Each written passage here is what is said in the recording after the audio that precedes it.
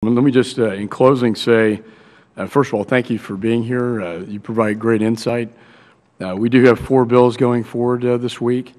Um, With respect to the bill that passed out of this committee, uh, I do believe it has the core components that the Secretary and Director of NSA asked for, and that is codification of existing legal authorities and an information sharing system through the National Cybersecurity and Communications Integration C- Center. Uh, We also have the ISACs out there as well. I know the Intel bill also makes DHS a hub for cyber threat information sharing within the government. And I think anytime we deal with the private sector, we always have to be careful of that balance of uh, incentivizing versus unduly burdensome uh, mandates. And it's always a balance between security and, and that.